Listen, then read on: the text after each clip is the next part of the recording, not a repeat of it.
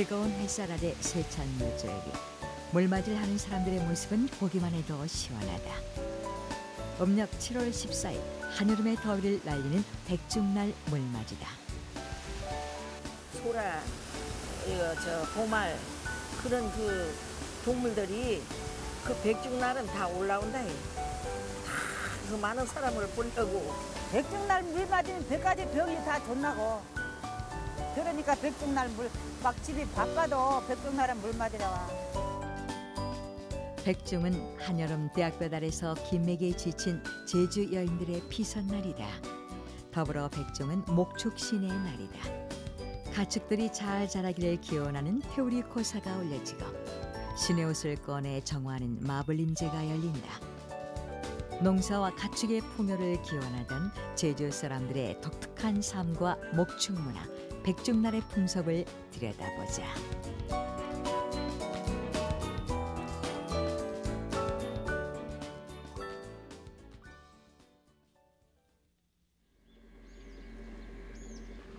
독한 햇볕과 지열 속에서 김매기는 혹독한 노동이다. 비서는커녕 불볕더위 속에서도 밭농사가 잘 되기만을 바라며 제주 여성들은 김매기에 온 힘을 쏟는다. 끝이 없을 것 같던 김매기가 마무리되고 제주 사람들은 바닷가로 모여든다.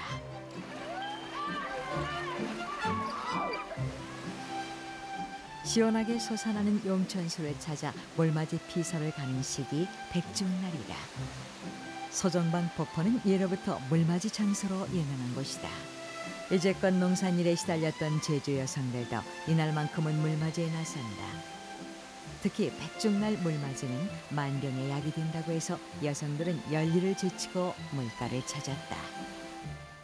어, 농사지다가 힘들면 그냥 왕 물 맞고 그냥 모욕형 가면은 조금 시원하고 그러니까 온 거지. 이때 그 밭에 건지 세 불만 내면 다 끝나니까. 그래서 물 맞으러 오면 아무래도 몸도 좋아지고 또 여름에 땀 뜨는 것도 이런 물 맞으면 다 들어가고 그래서 맞는 것 같아요. 백종은 고단한 삶을 살아가는 제주 여성들에게 휴식의 날이다. 집안일과 밭일, 물질에 얽매여 있던 여성들은 백중날만큼은 물맞이를 하면서 여유 있는 시간을 보낼 수 있었다. 백중날이 되면 해안가 용천수와 물가에는 더위와 고된 노동에 지친 여성들이 모여들어 심신을 달랬다. 백중 물맞이는 유독 그 일종의 보조 의료행위라고 할까요? 그러니까 여독에 쌓인 몸을 그런 그 물타작이라고 하죠. 그 물맞이로 푸는 거예요. 그런 직접적인 이유도 있지만 두 번째 이유가 뭐냐면 그 여성들만의 어떤 그 휴가를 전통적으로 누려왔다는 거죠. 빨랫감, 이불 호청에서부터 시작해서 그걸 바리바리 그 이 마차에 싣기도 하고 등짐으로 지기도 해서 하루씩 한나절씩 걸리는 거리를 걸어서들 예전엔 물맞이를 한 거예요. 근데 그 동안에는 그 집에서 그 여성들이 그 물맞이 가출에 대해서 조금 더 의의를 달지 않았습니다. 그게 왜냐면 백중이 일종의 그 농한기예요. 돌 많고 척박한 화산토의 땅. 보다 나은 수확을 위해 검지를 메고 밭을 갈고 밟아줘야 하는 제주의 농산일은 힘겨운 노동이었고 마소의 힘이 절대적으로 필요했다. 그런 힘겨운 농산일에서 백종은 잠깐의 여유를 가질 수 있는 귀중한 시기였다. 제주 사람들은 마소를 돌보는 목축의 신을 위해 태우리 코사를 지내며 풍요를 기원했다. 예로부터 태우리 코사는 공식적인 백종 행사였다. 백중날 하는 것이 우마를 관리하는 것이 마조라고 합니다. 관청에서는 정식으로 그 제사를 합니다. 민간에서는 그렇지 않고 우리 제주에서는 그 수 있는 집집마다 전부 떡이나 이제 음식을 해가지고 가서 그 우마를 관리 처음 시작했던 목축을 시작했던 그 신에게 제사를 지내고 그 이제 음식을 그 태우리에게 잘 대접을 하는 거예요. 이제 수고했다고. 예, 그 태우리한테 대접하고 그 목자한테도 대접하고. 그래서 이제 그 태우리한테 그날 잘 대접을 하기 때문에 그 이제 태우리 고사라고 이제 그리 이름이 붙여진 겁니다. 목축의 땅 제주. 제주에서 마소는 중요한 의미를 지닌 가축이었다. 들판을 누비며 마소를 돌보던 태우리들의 삶은 고단하고 지친 일상이었다. 백중은 그 태우리들의 명절이나 다름없다.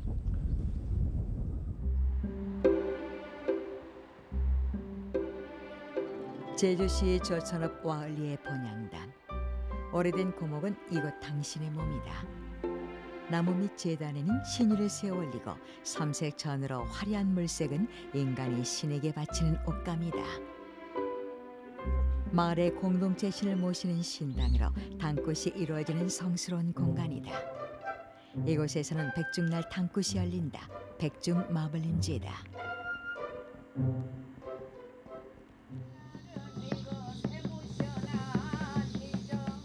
이른 아침부터 당꽃이 열렸다.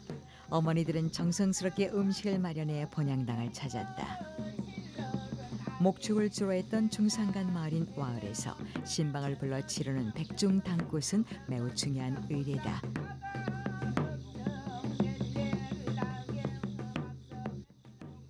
떡과 밥, 과일 등 풍성한 재물을 올리는데 마소가 병들지 않고 한해 목축이 잘 되기를 기원하는 제를 올린다. 소 생일이라고 이기도 오고 생일러도 이렇게 털려서 소 있는 데 가서 막 돼지내고 먹고 놀고 행와요. 이게도 소 지내는 사람은 다 그렇게 가지. 안 해. 마블림제는 장마가 끝난 뒤 눅눅해진 신의 옷을 꺼내 말리는 의례다. 제주어로 많은 곰팡이나 장마를 뜻하는데 마블림제는 신의의 곰팡이를 풀어내는 정화 의례인 셈이다. 신에게 정성을 들이는 백중 마블림제를 통해 오곡과 목축의 풍요를 기원한 것이다. 신의 그 이상들을 어 이제 7월 달 그 베테다에 나서 이제 저 쏘여서 장마 때 이제 그마 곰팡이를 싹 분리되는 거 분리 마블림 곰팡이를 씻어내는 거 그런 제사를 떴는데 그 안에는 그러니까 그 어, 곁들여서 우리 가, 가정의 편안도 빌고 마소의 그 저 증식도 빌고 또 오곡의 풍등도 빌고 이런 거예요. 제주시 구자읍 하도리 마을 공동 목장. 백중을 맞아 오마를 기르는 목장의 불밭에 재물을 올리고 태우리 코사를 지낸다. 생닭을 비롯해 매와 생선 등 재물은 이른 아침부터 몸을 정갈하게 하고 준비했다. 40여 년 목축을 해온 오학빈 목장장은 매년 백중 때가 되면 정성껏 태우리 코사를 지냈다. 백중날 태우리 코사는 목축을 하는 집안이나 마을에서는 소리 할 수 없는 중요한 행사였다. 말 목장을 하는 이상은 계속 해마다 한 번은 뭐 옛날같이 태우리를 두고 있는 건 아니지만은 뭐 꼭 태우리만 뭐 좋은 날이라 하기에도 그렇고 이 아까 형님이 말씀하신 대로 이 뭐 아프지 않고 다산하고 한해 또잘 크라는 뜻에서 저희가 뭐 우리 후에 자식 세대는 어떻게 할지 몰라 모르겠지만은 앞으로 저가 있고 저희 형님이 있는 동안은 이거는 계속 하고 싶습니다. 목자는 어린아들의 손을 잡고 들판으로 나선다.